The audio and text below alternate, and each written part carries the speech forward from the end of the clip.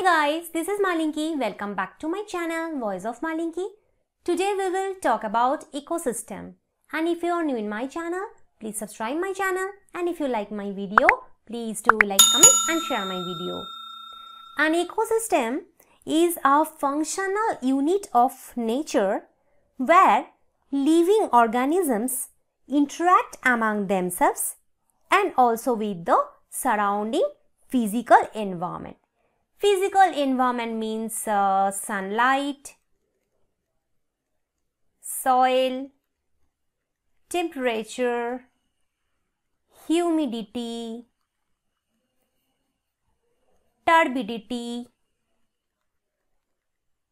etc. These are some abiotic factors or physical environment. Ecosystem varies greatly in size from a small pond to a large forest or sea.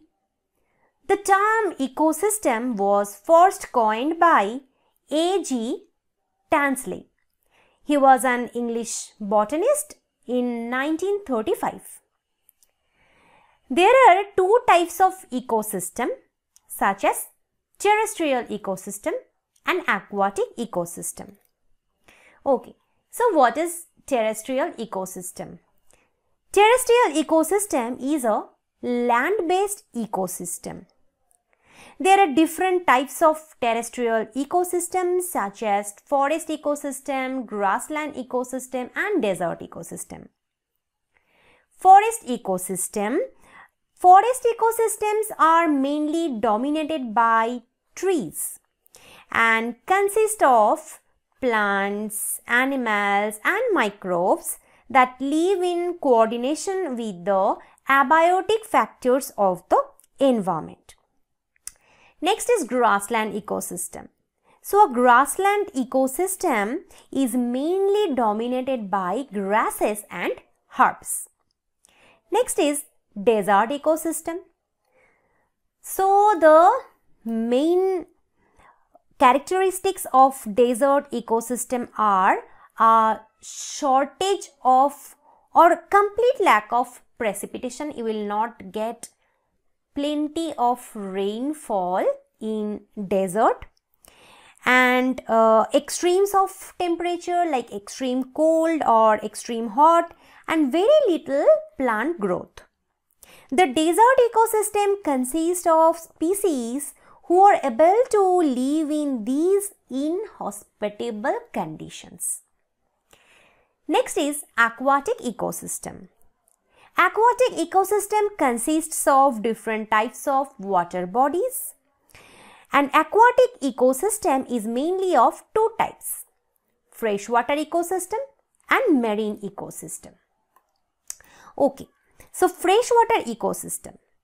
The freshwater ecosystem, it includes ponds, lakes, streams, rivers and wetlands.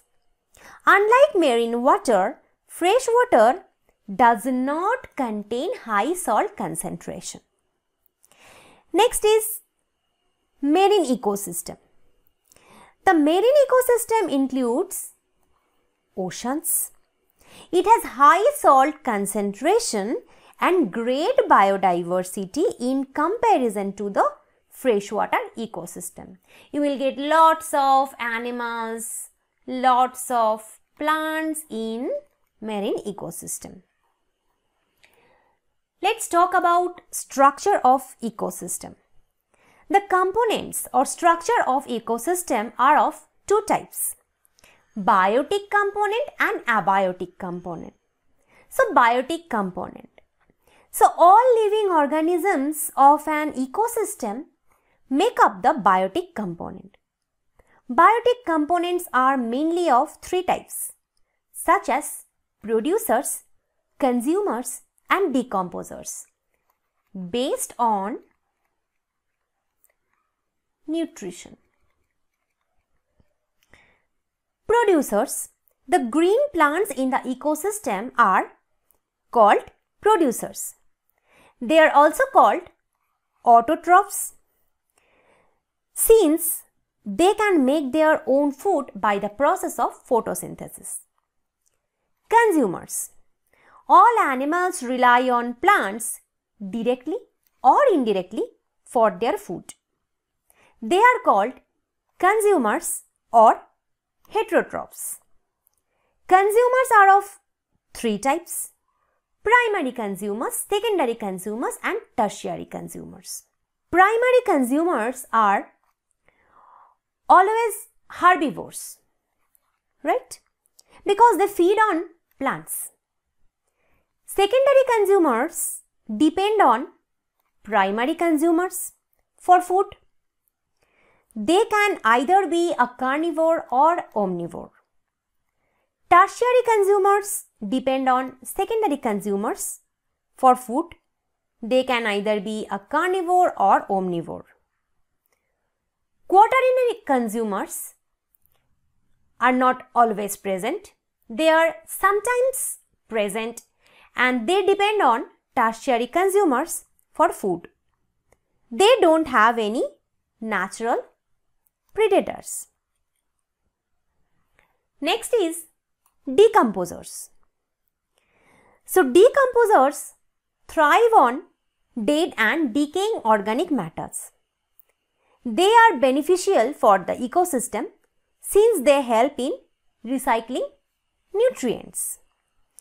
Saprophytes such as fungi and bacteria are examples of decomposers.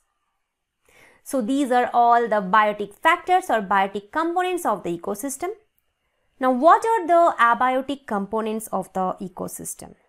So the non-living components of an ecosystem are called abiotic components. They include air, temperature, wind, humidity, turbidity, sunlight, water, soil, minerals, nutrients, altitude, etc.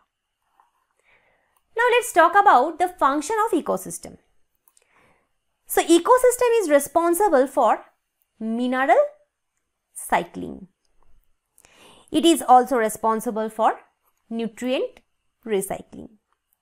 It maintains the balance between different trophic levels. Trophic levels means like producers are the plants, then we have the consumers who consume plants, then we have the decomposers who break down dead plants and animals bodies. So there is the balance between these different types of organisms. They are called trophic levels. It supports the living organisms to survive. And it also helps in energy flow from one organism to other organism. And the energy captured from the sun flows from the producers and then to consumers and then to decomposers and finally back to the environment.